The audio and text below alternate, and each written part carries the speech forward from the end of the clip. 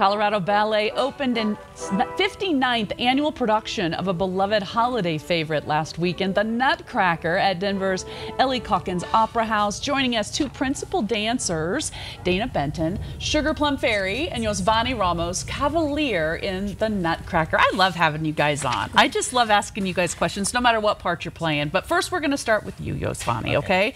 So first of all, Let's start with this. This runs until the end of December, basically the end of this month. So, how many performances will there be? How do we get tickets? I'm sure people are probably already lining up.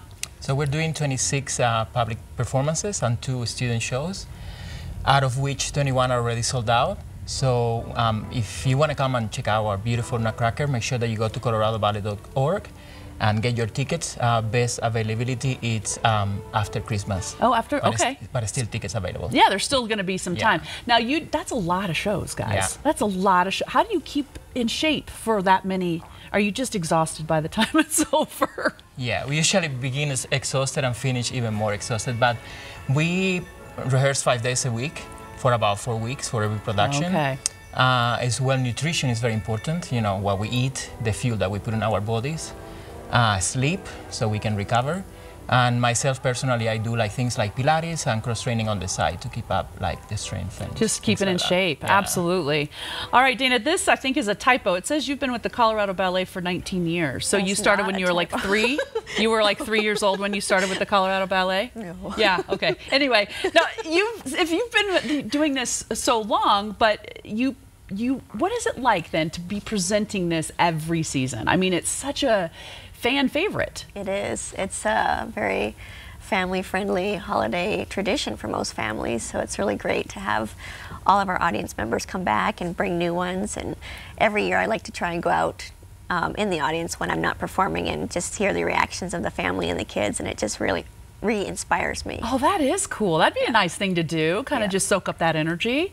Now, also, you've got some students from the Colorado Ballet Academy also in the production, correct? Yes, yeah. We have about 60 students in each performance. Oh, wow. There's like, I think over 300 total, and they rotate their own casts. Um, but it's also fun for them to get to work with us. Yeah.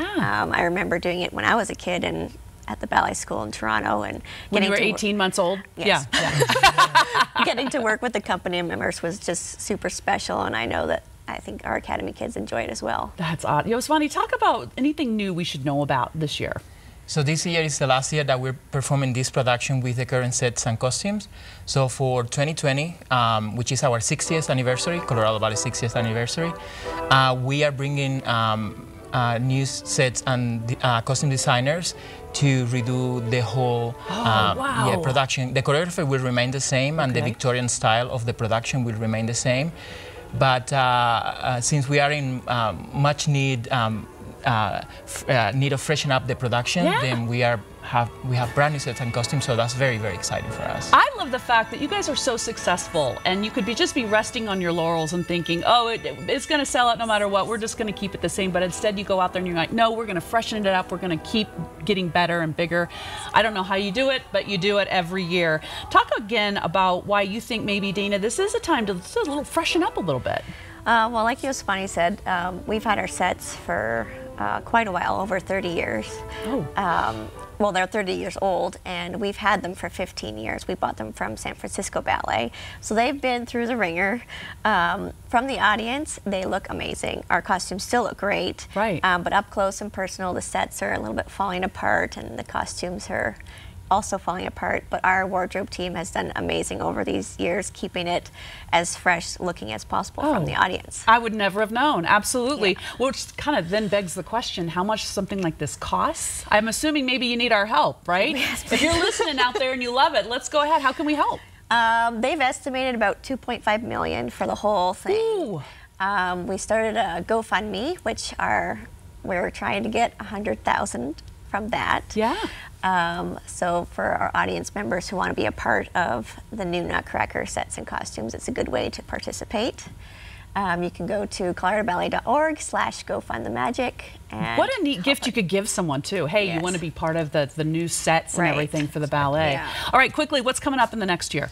So um, by popular demand, we're bringing back Peter Pan end of January. Oh, yeah. And we have added an extra performance, so more people have the chance to come and, and see this thrilling uh, production. Then in March, we're doing um, uh, Tour de Force, which has one world premiere and two uh, previous uh, previously performed um, productions. And then at the end, in April, we're doing Ballet Masterworks, which have three of uh, the dancers' favorite um, ballets to perform, Petite Mort, In the Upper Room, and Theme and Variations, which is going to be an incredible Sounds program. amazing. Always great having you guys here. Purchase tickets for Colorado Ballet's The Nutcracker online, coloradoballet.org. Performances are now through December 29th at Denver's Ellie Caulkins Opera House. Take time to enjoy the Colorado Ballet production. They paid for today's segment.